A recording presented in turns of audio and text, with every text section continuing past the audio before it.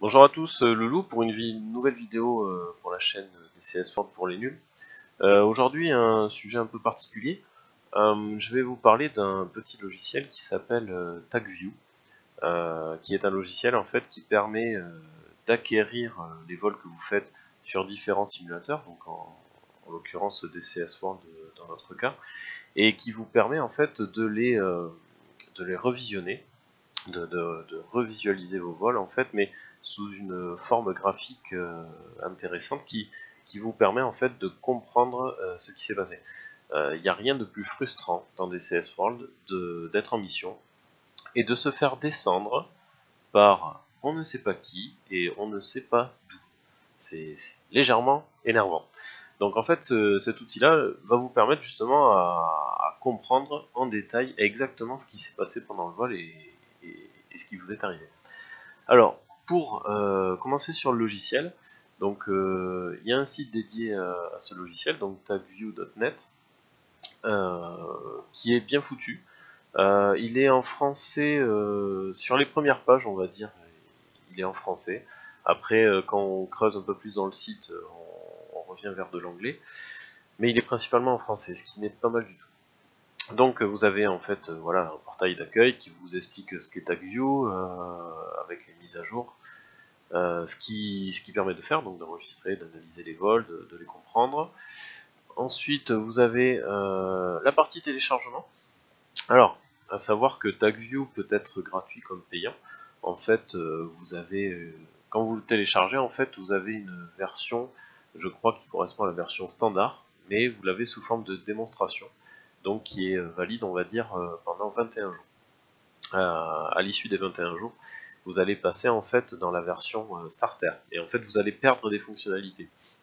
Aujourd'hui, concrètement, je suis encore en version de d'essai, de démonstration, donc du coup je peux pas vous dire les caractéristiques que vous allez perdre.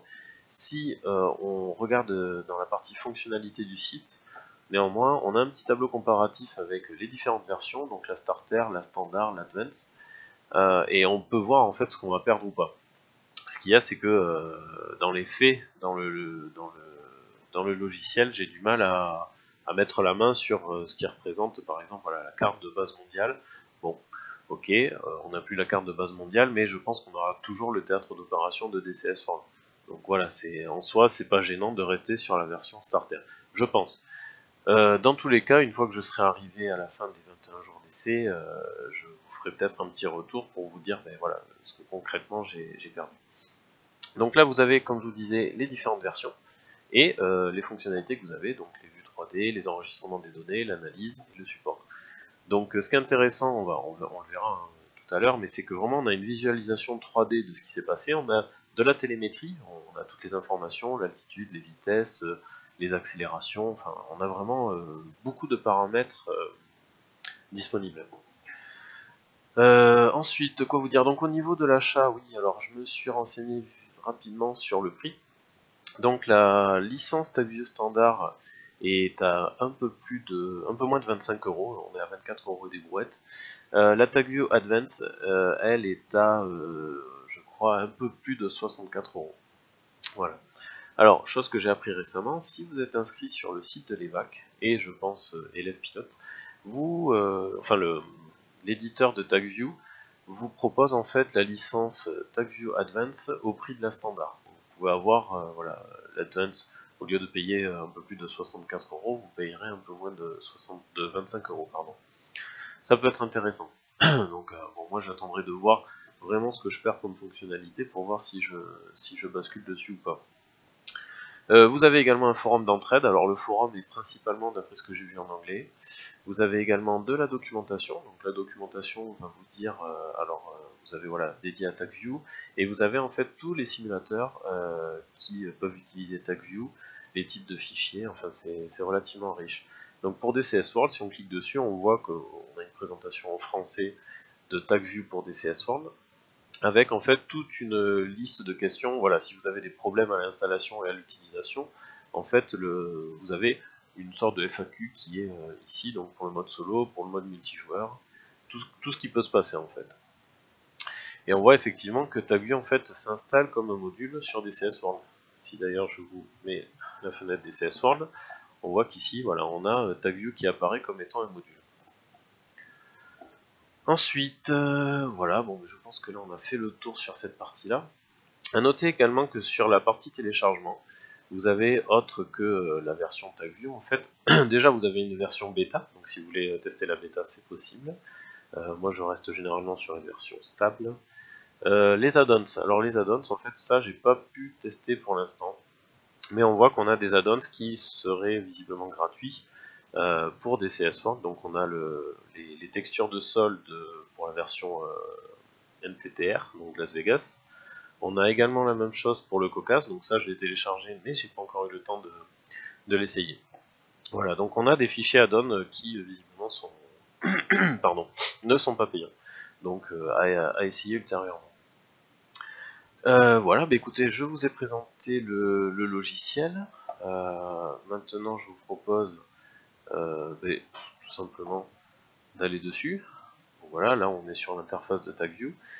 Alors, euh, chose à noter aussi, euh, TagView n'utilise pas les fichiers euh, Trek que DCS World génère. Alors, je ne sais pas si vous le savez, mais à chaque fois que vous faites un vol, en fait, alors je crois en multi, pas forcément en solo, mais DCS World, en fait, génère un fichier TRK, donc pour Trek, qui est en fait ben, le film de votre vol. Je pensais au début que TagView le comment dire l'utiliser, mais en fait pas du tout. Il, génère ses propres fichiers. Du coup, vous ne pourrez pas euh, visualiser des vols que vous avez fait auparavant, avant l'installation euh, de TagView. Chose importante à savoir.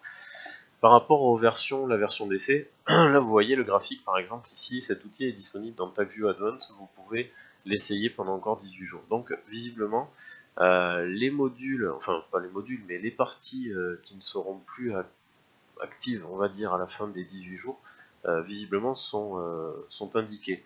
Donc ça c'est pas mal, il faudra que je jette un coup d'œil sur le reste.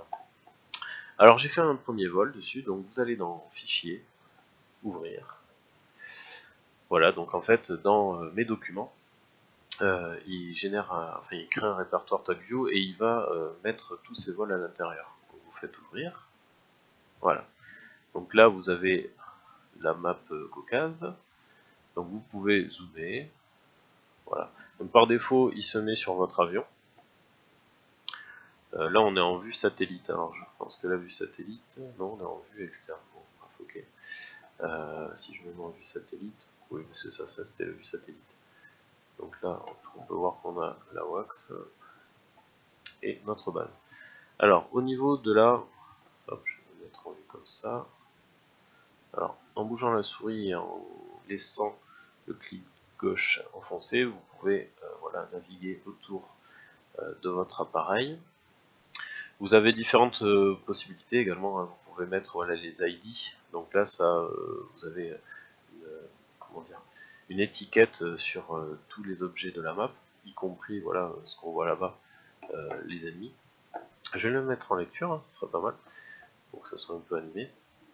Euh, vous pouvez gérer, je crois, la vitesse de, défilement. Euh, ici, par exemple, vous avez la barre d'avancée, donc vous pouvez vous mettre exactement à l'endroit euh, désiré pour analyser une situation en particulier. Donc là, on voit que voilà, j'ai mes deux, alliés qui, sont en train de décoller. Là, je suis en train d'avancer pour pour m'aligner sur la piste et décoller. Donc voilà, hop là, je vais essayer d'avancer un peu. Là on voit également hop, tous, les, euh, ennemis. Alors on avance un peu, voilà on voit exactement en temps réel ce qui se passe. Alors là on voit tous les missiles qui partent là, c'est une mission que j'essaierai de faire en, vidéo et je peux vous assurer qu'elle est coton. Donc là voilà, vous avez exactement les manœuvres que vous faites, donc là je suis en train de chaffer ou de flairer. Parce que j'ai dû, voilà, c'est ce missile qui m'a loupé. Voilà. Alors c'est vraiment voilà intéressant, donc je vais aller vers la fin parce que figurez-vous que je me suis quand même fait dégommer. Euh, hop. je vais essayer.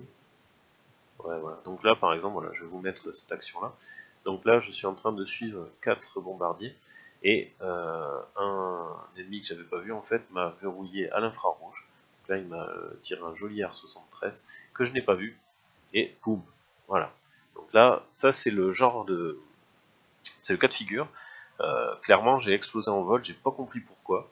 Et le fait d'avoir cette visualisation vous dit, ben oui, tu avais un ennemi qui était euh, haute vers toi mais plus haut, euh, clairement, euh, clairement c'est lui qui t'a dégommé un, un, Fox 2. Donc voilà, je trouve que c'est un que c'est un outil qui est quand même déjà il est gratuit et ensuite il, permet quand même de comprendre pas mal de situations tactiques et autres. Alors je n'ai pas comment dire j'ai pas encore exploré toutes les possibilités mais euh, voilà, je pense que c'est vraiment, je pense que c'est vraiment un super outil. Voilà, bah écoutez, euh, je pense avoir fait le tour euh, de ce logiciel. Comme je vous dis, si jamais j'ai des nouvelles ou des choses comme ça, je, je, vous, le dirai plus tard. A noter que l'installation est vraiment super facile. il a, comment dire, il fait ses liens automatiquement. vous avez vraiment vous n'avez rien à paramétrer, vous lancez l'exécutable. Euh, généralement, enfin si vous avez fait une installation des CS4 classique, il connaît les chemins, il sait récupérer le, chemin de l'installation de DCS, il met le plugin comme il faut, il n'y a vraiment rien à faire. Si vraiment vous êtes embêté, euh, vous avez donc euh, au niveau de la documentation et de DCS World, tout ce qui peut arriver en fait et tous les correctifs à faire pour que ça fonctionne correctement. Voilà. Écoutez, c'est bon pour moi. Euh, je vous dis à la prochaine et n'hésitez pas à utiliser les commentaires pour euh, toute euh, remarque, on va dire. Allez, ciao, bye bye.